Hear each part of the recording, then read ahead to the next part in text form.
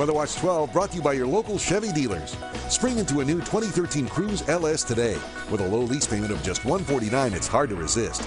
Add in a highway MPG over 30 and you have the hottest deal of the season. Go with the leader. Go with Chevy.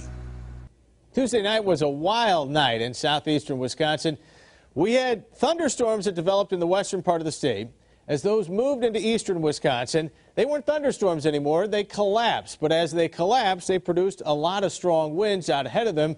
And with that, we had over 16,000 people without power here in southeastern Wisconsin. These are just some of the wind reports. 50 mile per hour winds in Ashippun and Dodge County.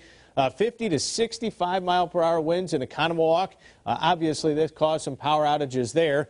Around Delafield, town of Merton and Hartland, lots of power outages there with trees down. Also, some trees down into parts of Milwaukee County as well. Weather quieting down nicely, though as we head into Wednesday. It's going to be a beautiful day. Temperatures start off warm, 63 degrees, a high temperature of 75, northwesterly winds at 10 to 20. 72 on Thursday, still beautiful. Most of Friday will be all right with a couple of thunderstorms here and there. Nice day on Saturday. Most of Sunday should be good. Thunderstorms developing late. Some of those could be strong on Sunday into Monday. For WISN.com, I'm Chief Meteorologist Mark Baden.